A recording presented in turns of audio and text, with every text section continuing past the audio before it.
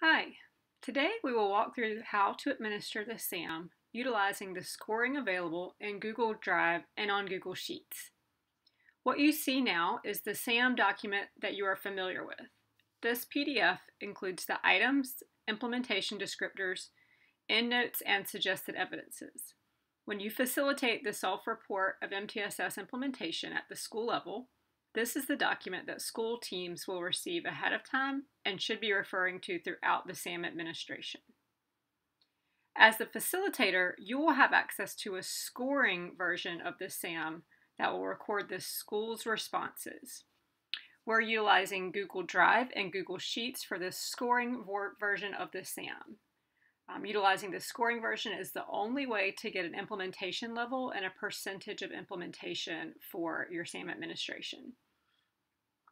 You will receive a link to a practice file and a link to an LEA file. These files have been set up for each LEA and now we'll take a tour of how to use them. So when you get um, the link to a file, you'll either type in the link or click on the link and you'll receive a screen that looks like this. The biggest thing you'll need to remember here is to either click on the blue button that says open in Drive or add to my Drive. You won't be able to utilize any of the files without adding them and opening them in a Google Drive. So I'm going to do that now.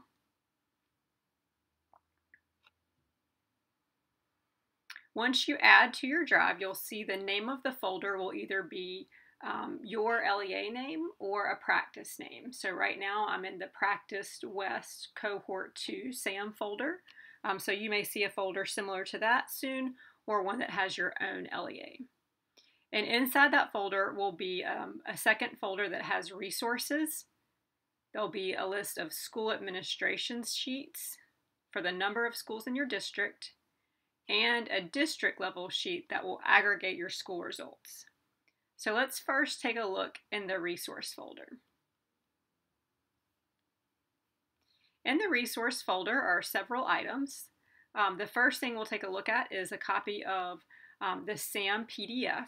So this is the same version of the SAM that um, you've looked at before in PDF version. We just put a copy in here in case you didn't have it um, in five or six other places. There's also a copy of the SAM infographic, so we'll take a look at that. And this is useful to share with schools to help them understand the purpose and administration of the SAM. You can print this on one page and it prints very nicely. There's also a, a document that has a link to a five minute um, video of the SAM administration and overview for schools. So you'll be sharing this with schools before you go in and do your SAM administration. Let's click on this link and watch a minute of the video.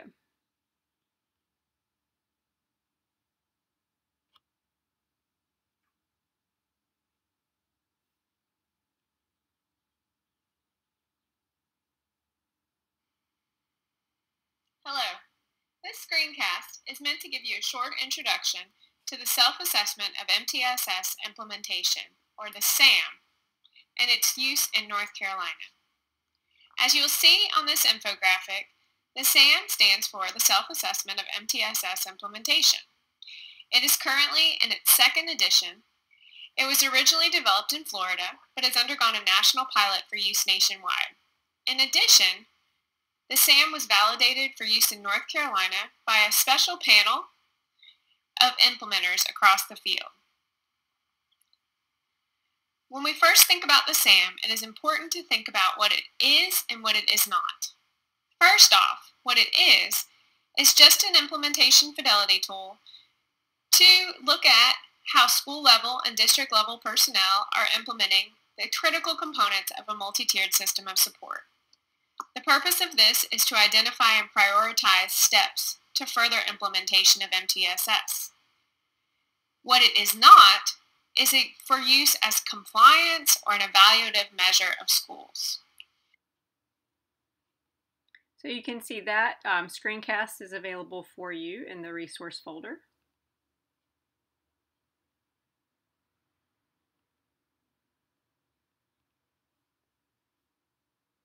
The next um, document that we have in the resource folder is a Google presentation.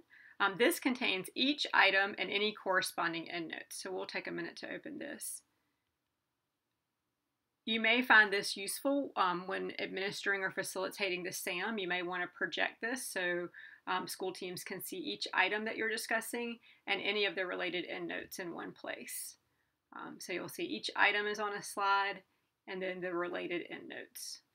It might just be a little less cumbersome than um, projecting the PDF document. Finally, in the resource folder, there's a document that will assist you in planning for communicating and administering the SAM um, at schools. So this document you can use to record your plans for administration, um, any plans you have for scheduling and timing with the schools, um, how you'll be communicating with the schools. There's also a checklist at the end of this document that will give you some ideas of what are the things you need to do um, to prepare for administration, during administration, and after administration of the SAM. So those are the resources um, in your resource folder that you'll use in order to plan for your administration and support your um, facilitation of the SAM. Also in your um, folder,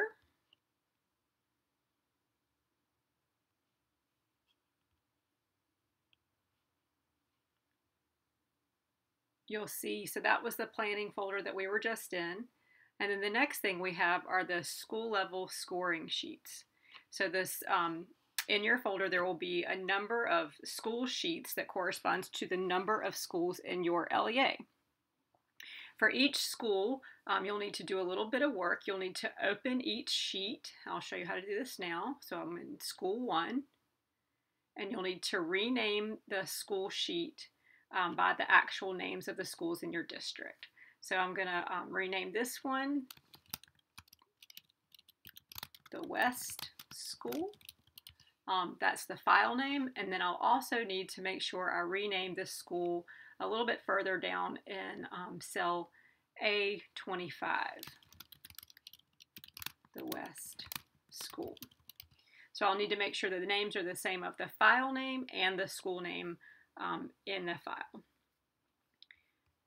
You'll see also on um, the school sheet that that cover sheet I just scrolled through looks very familiar. It has the same um, information as the cover sheet on the SAM. And then a little bit further down, you're able to enter some in information. You can enter your district name. Um, we just entered our school name.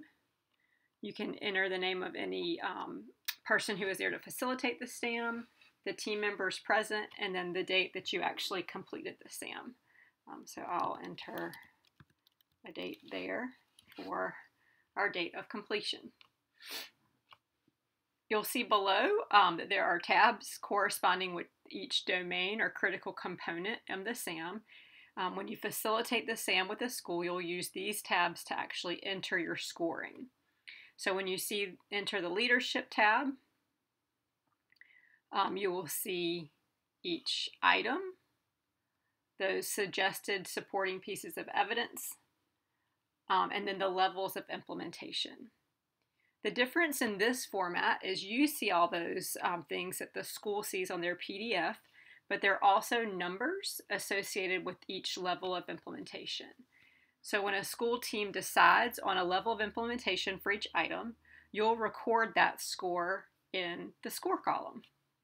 So for example, for item number one, if we have a principal who um, communicates a vision for MTSS and participates in professional development um, and actively supports the leadership team in MTSS to build capacity um, and really actively engaged in problem solving, that school would likely decide their implementation fits the opti optimizing description um, and you would record a score of three in that cell. And so that's where the scoring records. Um, there's also a cell on for each item where you can record any notes um, or evidences for that item.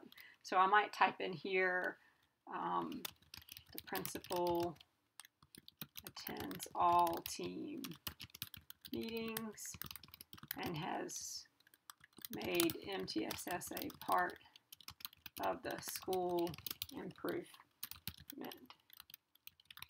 plan.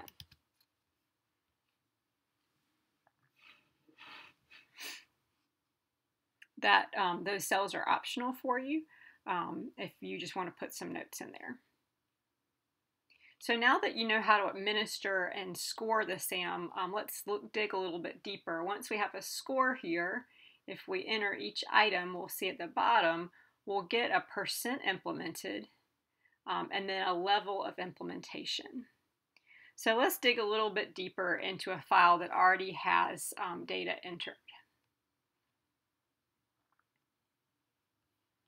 So we're going to take a look at a district that I've named the North Carolina ACC District. Um, and you can see in this file that I've renamed all of our schools with the names of um, the North Carolina ACC team. So we have a Duke, an NC State, a UNC, um, and a Wake Forest. And then we have our district sheet, which um, we saw in our other folder. And so that district sheet I've renamed to be the ACC district sheet. So let's take a look again at a school file. So the Duke School SAM. We see again our cover sheet. And we'll add our date of completion. And you can see here I already renamed my school. And then if you take a look the, under the leadership tab, um, there's scores entered for each item. So we've already scored that domain. Um, you can see the percent implemented, and then that, um, that records an initially implementing level. So um, that scores have been entered for all, all domains except for communication and collaboration. So we can take a little bit closer look at how that scoring works. So in communication and collaboration, there, um, there are only four items. And you'll remember from the Google on Air and reading about the SAM um, that during the leveling study, many items on the SAM must be considered at the optimizing level in order to receive a description of fully implementing. So you can see these items throughout the SAM um, in your scoring sheet because they have gray bands across the scoring. So that's how you know it's one of those um, required items to be optimizing. So in communication and collaboration, if we were sitting with the school team and they gave us an optimizing score um, on all four items, we would see that that would give us that level of fully implementing. Um, to show you a little bit how the scoring works, you see that this um, item number 20 has that, that gray band, so we know that that's one of our sort of non-negotiable items. So if the school team instead scored themselves operationalizing, you can see that our score would drop from that fully implementing to not implementing. Um, so that scoring happens in the background and it was set during the leveling study. So all of that scoring happens for you. Um, those items that are considered our non-negotiable or the items that must be at optimizing, that scoring is weighted behind the scenes. So you can see how that works. We'll go ahead and give that a fully implementing.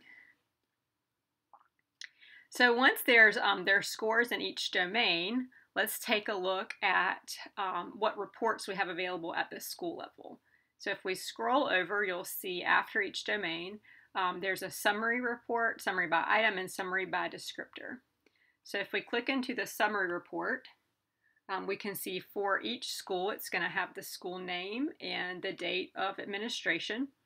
It's going to give us a chart that um, contains each critical component the level of implementation, and that percentage of implementation. So you can see here that domain we just scored of communication and collaboration, um, we received that descriptor of fully implementing.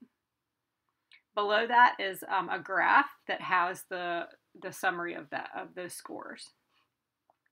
You can select um, print straight from Google. Um, and if you leave all the settings the same and click choose print, you'll see that this report will actually print on one page for you. So you could print this report and give it to the school. The next report is um, the summary by item. So this is also um, a level, a school level report for that school. This one happens to be Duke, and we have our date of administration. Um, you'll see here that we have each domain, the actual item content, the score that you entered, and then the descriptor that goes along with that score. So were they emerging? operationalizing, or optimizing. Um, under each domain, we have that percent of implementation and then that implementation level.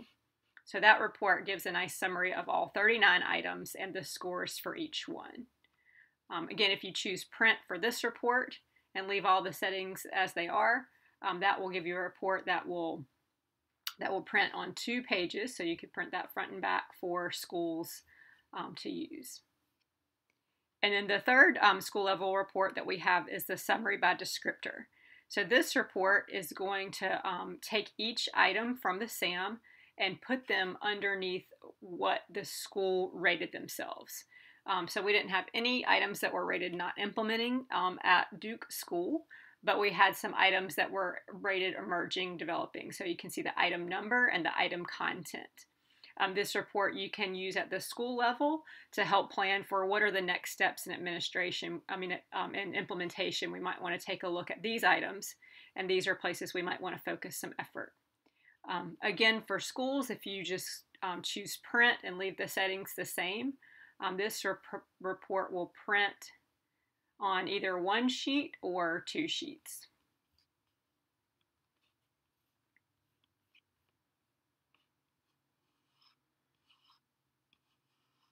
So those are the school level reports. Again, you'll have scored all the um, all the domains, and then you have those three school level reports.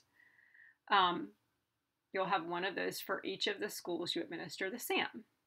So let's see how that interacts with the district level report. So once you administer at the school level, you can open up your district level sheet um, and you'll see here that those school sheets that I had named um, fall under um, this school label.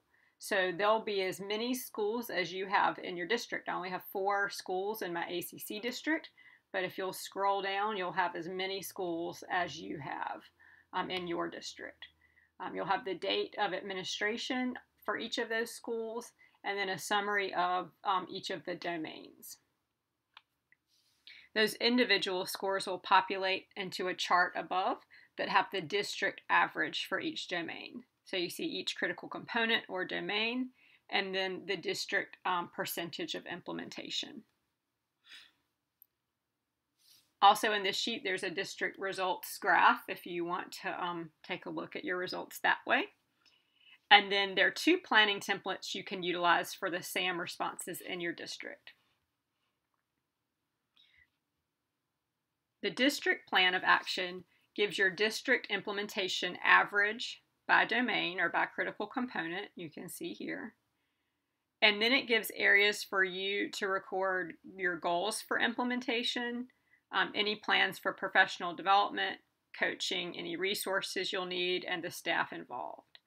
Um, this sheet will calculate a recommended unit of support for you, um, either at the district level, so all schools, um, if the average implementation in the district is below 80%, or it'll recommend that you think about supporting individual schools in that area um, if your district implementation is above 80%.